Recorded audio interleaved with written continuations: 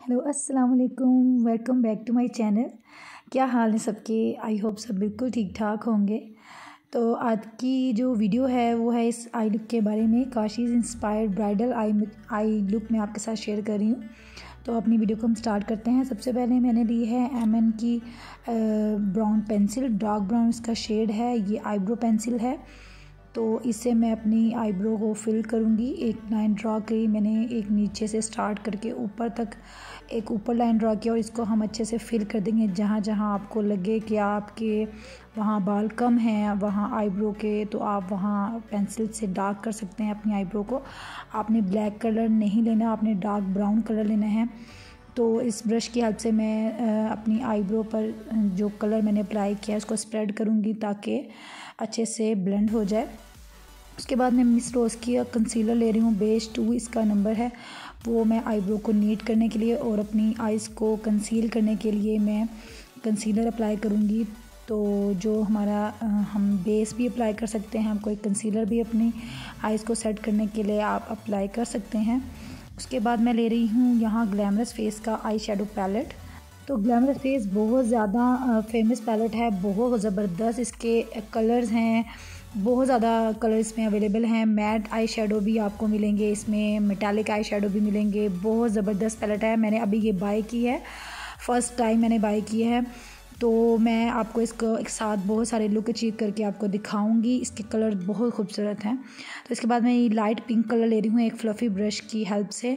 मैं इसको अपनी जो ट्रांजिशन शेड जो मैं अप्लाई करूँगी आइस पर तो वो आ, मैं ये शेड लाइट पिंक सा कलर लूँगी अपनी ट्रांजिशन शेड इसको अप्लाई करूँगी और इसको अपनी क्रीज लाइन के ऊपर इसको अच्छे से ब्लेंड कर दूँगी।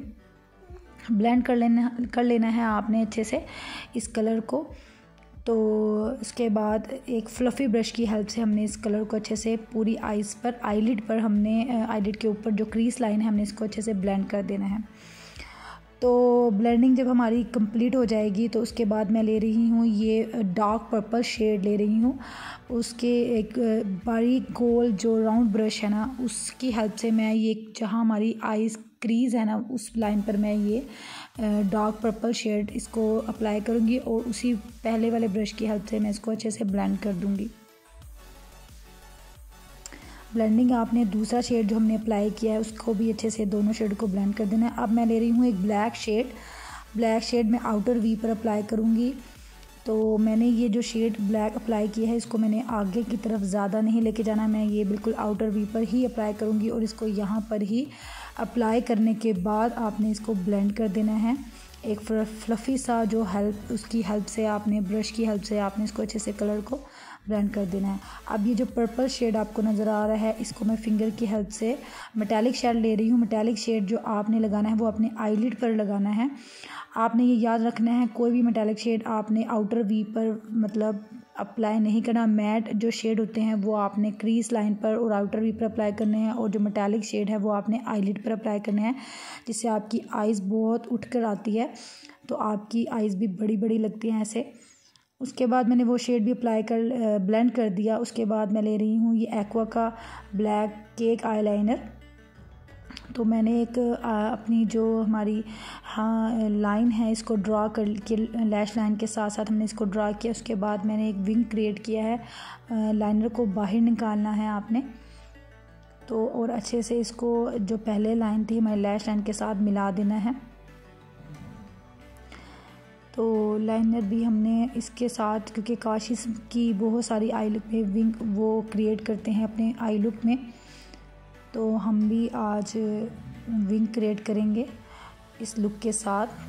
अपने आई लाइनर को हम अच्छे से नीट कर लेंगे, जहाँ जहाँ आपको लगे कि लाइन ठीक नहीं लगी, वहाँ आपने अच्छे से इसको नीट कर लेना है। तो लाइनर को हमने जब नीट कर लेना है, उसके बाद हमने लोअर लैश लाइन को अच्छे से जो हमने पहले कलर सेम वही शेड जो हमने क्रीज लाइन पर अप्लाई किया था, इसको मैं नीचे लोअर लैश लाइन पर अप्लाई करूँगी और इसको अच्छे से ब्लेंड करूँगी। उसके बाद एक काजल पेंसिल से मैं एक नीचे लोअर लैश लाइन पर ब्लैक लाइन ड्रॉ करूँगी और इसको उसी पर्पल शेड से मैं ब्लेंड कर लूँगी।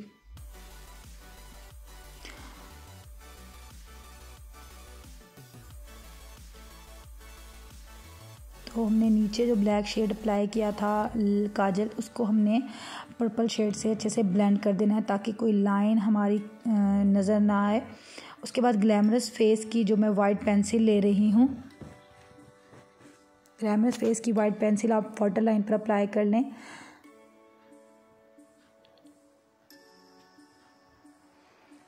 तो पेंसिल को आप आईब्रो पर भी अप्लाई कर सकते हैं, क्योंकि इससे बहुत ज़्यादा नीट लुक आएगा। अगर आप काशिश की वीडियोस, मेकअप देखते हैं तो उस पर भी काशिश एक वाइट सिल्वर कलर अपनी ब्रो बोन को हाईलाइट ज़रूर करते हैं। उसके बाद मैं लैश डबलिंग मस्कारा ले रही हूँ। ये है एम का कोई कंपनी है एमएन, उसका मैं ये लैश डबलिंग मस्कारा ले रही हूँ, जिसका रिज़ल्ट बहुत ज़बरदस्त है। तो आपने लैशेज़ लगाने से पहले मस्कारा ज़रूर अप्लाई कर लेना है। तो आपने अच्छे से लैशेज़ लोअर लैश लाइन को भी और ऊपर लैशेज़ को भी आपने अच्छे से कर्ल कर लेना है। लैशेज़ मैं लोकल मार्केट से ही ले रही हूँ। आपको आसानी से लोकल शॉप से बहुत सारी अच्छी लैशेज़ भी मिल जाएँगी। तो लैशेज़ को हमने अप्लाई कर लेना है। इसके बाद हमारा पीछे से स्टिक करके उसके बाद आपने आगे से इसको प्रेस कर लेना है। तो लैशेज़ हमारी अच्छे से स्टिक हो जाएगी। तो ये होगी हमारी फाइनल लुक ये आपको कंप्लीट मेकअप नज़र आ रहा है। तो आई होप आज का जो मेरा मेकअप है आपको अच्छा लगा हो। तो बहुत अफोर्डेबल मेकअप के साथ मैं आपको ये लुक सिखा रही हूँ। तो अगर आपको वीडियो अच्छी लगी और आई लुक अच्छा लगा तो आपने मेरी वीडियो को ज़रूर लाइक करना है और मेरे चैनल को ज़रूर सब्सक्राइब करना है। इसके बाद मिलती हूँ नेक्स्ट वीडियो में। टेक केयर अल्लाह हाफिज़।